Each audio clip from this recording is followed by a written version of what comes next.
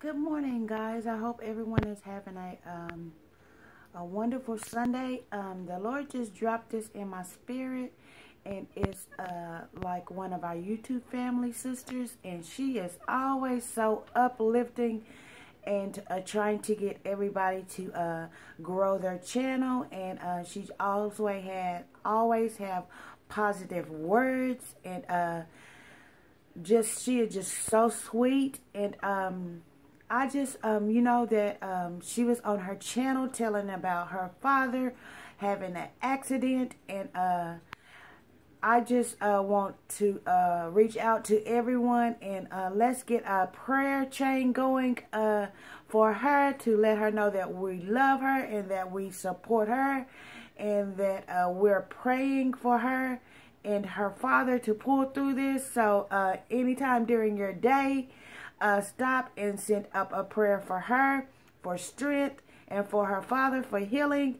And that's the least that we can do for her because she is always trying to figure out something to get uh, everybody together to grow their channel.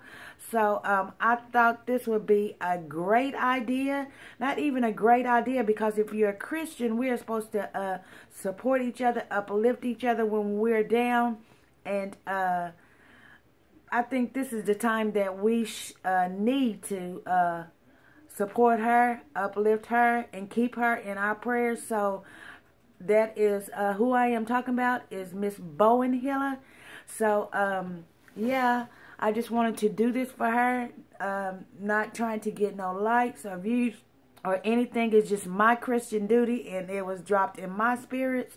And so I am speaking up on it. So, um, yeah, let's get behind her and um, just go by her page and just to let her know that you have her in your prayers and that you're praying for strength for her and healing for her father.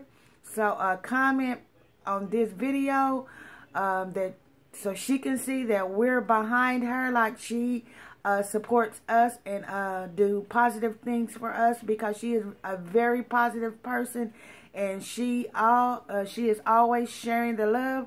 So um, as I said, it's my Christian duty and I am doing my duty to uh, tell her that I love you.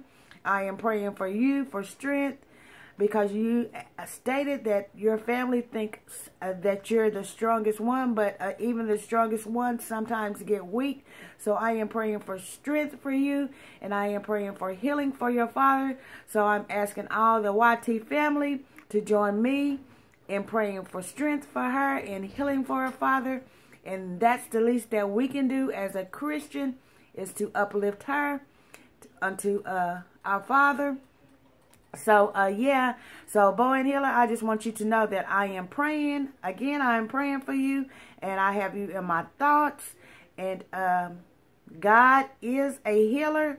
And he can do anything but fail. So, I love you. And uh, I'm praying for you. So, come on, guys. Let's, uh, let's get on a prayer chain and lift her up in prayer. Okay? Be blessed, my people.